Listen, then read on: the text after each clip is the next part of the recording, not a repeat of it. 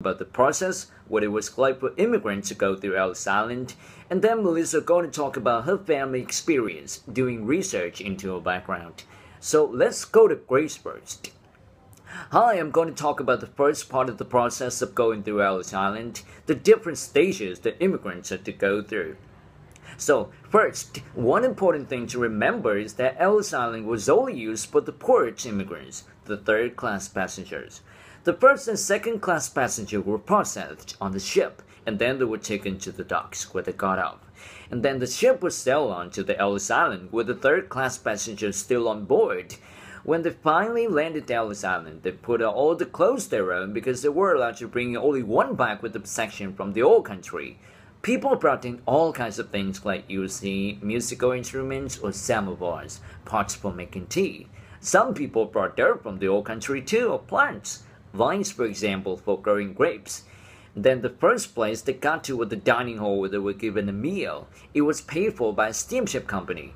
People who came through Ellis Island always remembered the meal. The food was apparently quite good, but it was also strange for many of them.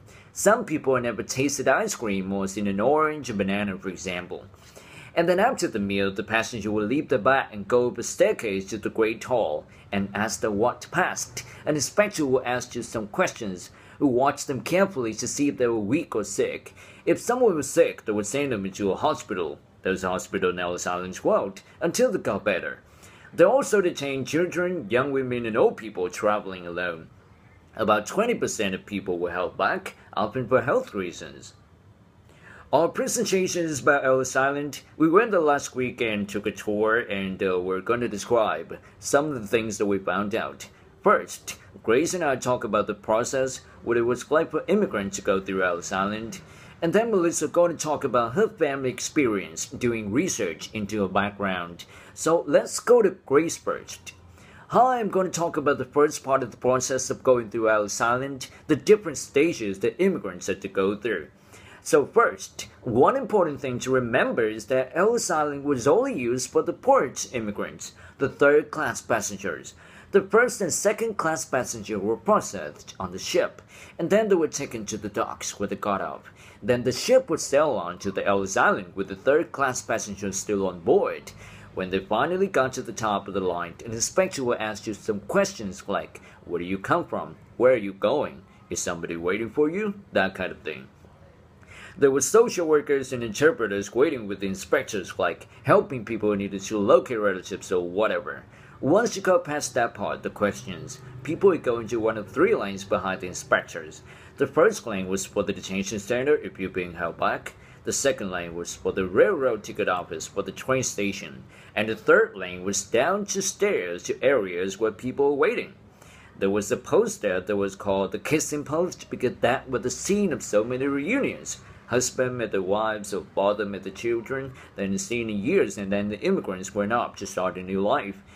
And then I'm to let Melissa go and talk about her family experience tracing the ancestors. Well, my great grandfather came in from Ireland, and my aunt actually used the Ellis Island records to find out where he came from. So I'm to talk a bit about that. Basically, what they have at Ellis Island was the ship's record and the immigration information of every arriving passengers, with like the date they came in, the age of the town that they came from. So if you know, for example, your ancestor's name, the year they arrived, or where he or she came from, you can look them up. So that's what we did. My aunt wanted to know more about grandfather. My great-grandfather, he died before I was born, but apparently he was a great musician. He played the fiddle and since a family event. Joan knew they came from Cork in Ireland, but she didn't know where in Cork because he never spoke about it. So Joan went to Ireland and visited the town a couple of years ago.